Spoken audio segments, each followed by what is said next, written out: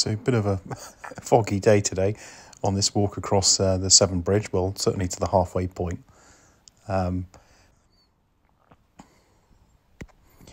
really is a beautiful suspension bridge, uh, opened in 1966 by Queen Elizabeth II, none less.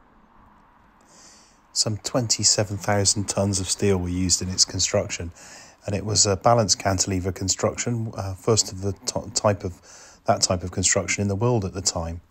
Um, we're leaving from the Aust side uh, on the the footpath bridge, which is really used for cycles, really cyclists a lot of the time, and pedestrians, but primarily yeah, cyclists go bombing down here. So if you do walk it, be aware, keep your wits about you. Don't suddenly cross across the road because you don't hear them and they go flying along now, particularly with these batteries they have.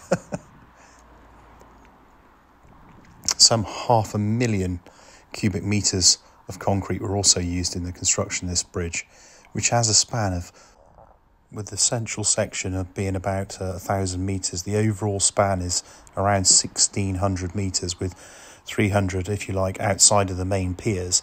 But you know, the central span of 900 odd meters, 996, I think, was was the largest bridge in the world outside of America in 1966. So, you know, quite an engineering feat, to put it mildly particularly across such a treacherous water as this. Um, you know, it, it's uh, it is quite an unforgiving waterway. The, uh, the, the Severn Estuary. You know, it's got a huge tidal flow. Um, sadly, as we'll see as we go across the bridge, you know, a number of people sadly did lose their life on this uh, enormous engineering project that took many many years to build, um, and uh, and have lost their life since in, in the maintenance of this bridge. Um, but but you know, it's a it's an incredible structure, and um, you know it's it's it, it is really is beautiful. And uh, as you'll see it emerging out of the fog later, uh, it really is still a sight to behold. Now there's something about a suspension bridge; they're such majestic looking things, aren't they? Great engineering, um, really fantastic engineering. So uh, here we're coming up to the uh, first to the start of the sort of uh, bridge proper, if you like. Um, just coming up to that bit. It took three years to build this bridge, um, which was uh, yeah, probably pretty good going, really, when you consider the amount of materials that went into it and the, you know, the sheer um, uh, challenges of such a difficult environment to build in uh, across the, the estuary with some one of the highest tidal ranges in the world. Um, so you know, it, it's testament to those that worked on it and designed it um, uh, that, that it was built in the first place. I think you know um, we're coming up to the remembrance plaques now um, for those who, uh, who, who died during the construction process uh, and those who sadly died during maintenance as well on a major upgrade in the uh, 80s to 90s. I remember Dad and I walking across the bridge back then, and there was 24 hour welding going on to strengthen it. and it was really bouncy, you know, when the lorries were going by. All bridges flex, it still moves now. Uh, you'll probably see later or hear just a little bit of rattling sometimes off some of the looser fittings uh, where there's hatches and stuff. Um, and uh, you know they've got to flex, but uh, yeah, it was it was really flexy back then, and they obviously uh, significantly strengthened it because it moves a lot less now than it used to. Uh, and even drawing the strengthening, you could get to sections that were a lot more rigid. So leaving the Aust viaduct now, where the gravity anchor is, for these enormous cables, the suspension cables. Uh, each one of those uh, enormous cables uh, has got something like 8,500 5 millimeter hot drawn uh, high tensile steel cables within it, and uh, some 29,000 kilometers of, wire were, were, were, produced here to make those enormous cables. And um, they are, of course, incredibly strong, but they have suffered from some internal corrosion over time. I mean, say it's a very exposed site. So in 2006, considerations were given, and we'll see them later, for a sort of hot air system that keeps them keeps them warm and dry, uh, which uh, effectively prevents further corrosion. Um, but their ongoing uh, testing and checking is uh, still happening. I believe there's some works at the moment. There's some some gantries at a place at the moment to, to check those cables. Also, you know, they're incredibly heavy. Um, and the towers themselves were strengthened as part of the sort of 80s, 90s strengthening works because the, uh, the, the weight of the cables was effectively you know, crushing the top of the towers a little bit. You know, so they built you know incredible internal structures within the towers. I think to strengthen them internally, so the bridge doesn't look any different. Because it you know it's grade listed the the Severn Bridge, uh, as are the viaducts that um, join it to Wales and England. Uh, it is you can see it for miles, and of course it's so elegant in terms of its uh, look from a distance. It does look the more beautiful of the two bridges. You know the the second Severn crossing is marvelous. Oh, it says this is an interesting point. You see these um, these are the uh, anti-vibration dumbbells. Obviously, um, we, we, we, those who are interested in engineering have probably seen the very famous pictures of the bridge in America, the Tacoma Bridge, uh, which it suffered from aero-elastic vibration. Effectively, it started to resonate with the wind because of the wind blowing over the shape of that bridge. But you know, it can be a real issue. Harmonics building up and vibrations building up particularly in very windy exposed sites such as this. So those uh, are anti-vibration dumbbells. They're called Stockbridge dampers and they are a mass damping system for basically dissipating energy associated with vibration that stop um, the uh, you know the, the resonant frequencies happening of these uh, large cables.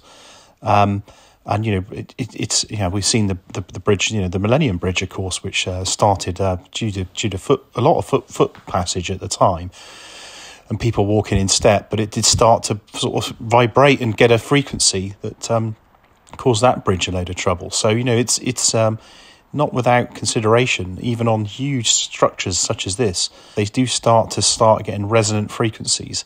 It can be really uh, damaging. So, you know, some clever use of these uh, little sort of like dumbbell weight things that go on the cables that just stop uh, and cancel out that tendency for things to vibrate like a guitar string. And you can see some of the hot air systems there. Can you see the sort of braided hoses? I think that's sort of part and parcel of the a system that provides warm air because if you get the right conditions, typically below 30% relative humidity, you can stop corrosion. Um, and that's what this system does. Uh, there's an air handling system that uh, blows uh, warm or certainly dry air uh, into into the this sort of um, new network of um, sort of connections and uh, and pipes, and it, and it keeps the corrosion at bay by keeping sort of very dry air blowing over stuff uh, at very low speeds, I guess. But um, you know, a clever system and used on the Forth bridge now as well. I understand. I think it's about forty million quid to install it. This is big civil engineering stuff. It's never going to be cheap. It's never going to be easy to do, uh, and I'm sure a lot of thought and effort went into it. But it's protecting a, a real priceless asset, really. I mean, you think what this bridge would cost now? You know, a sixteen hundred meter suspension bridge in the modern age, it would be absolutely well billions, wouldn't it? So uh, it's it's probably well a, a, well worthwhile investment to look after it. Interestingly, the uh, these huge cable spans we're seeing the uh, the big towers coming out of the fog in a minute. It's really good good to see it. Uh, but the um, the cables within them talked about I think the eight thousand or so five millimeter um, wires within these big cables. Those those those wires can actually snap.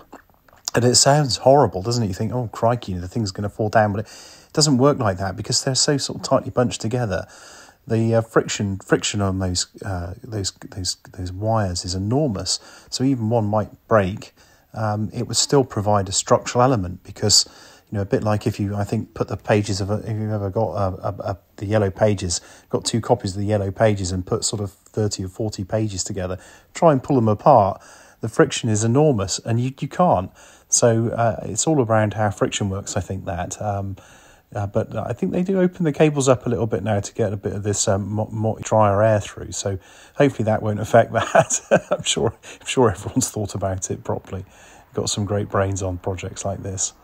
Um, yeah, there's the uh, dumbbell uh, dumbbells there, and of course the enormous towers that were strengthened uh, internally to uh, help uh, with the with the weighted cables. Um, here's one of the gantries that's used for maintenance of the bridge.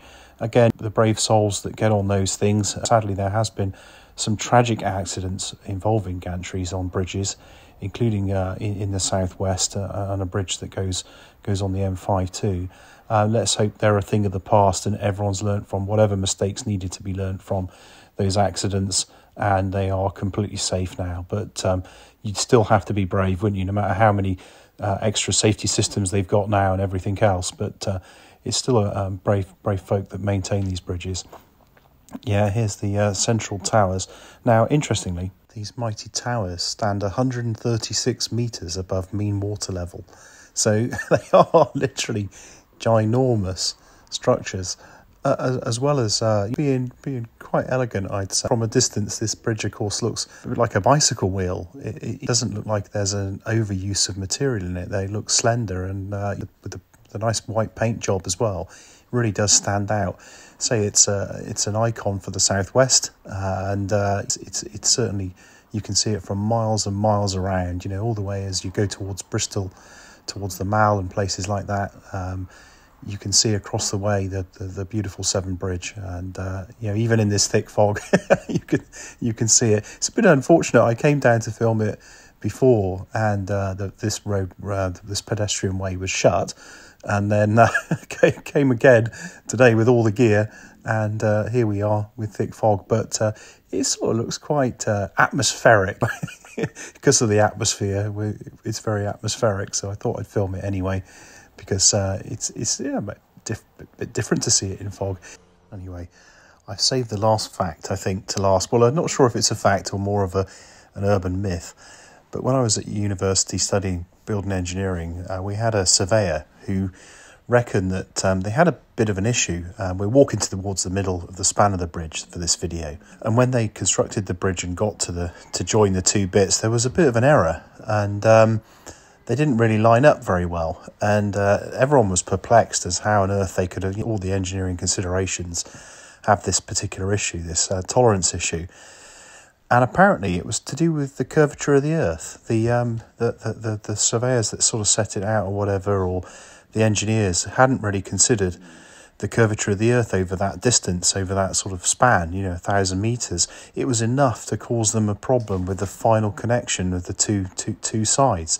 Now, you know, I'm not sure if that's what really happened or not. Perhaps some, some people can make a, a note in the comments, but it's, it's certainly feasible, as the Mythbusters would say, because it's such a big span. Um, and if that's the case, you know, what a thing to have considered. You know, I mean, it's probably not something we would consider in most normal uh, engineering circumstances, even construction circumstances, unless you're really talking big stuff, that you've got to think about the curvature of the earth. So, uh, anyway, that's it for me. I'm switching the mic up now for this final bit of the walk so you can hear the, the, the noise of the, the, the bridge. And uh, thanks very much for watching. And if you are have subscribed, I really do appreciate that. And uh, I hope to catch up with some more videos in the future. Cheers for now.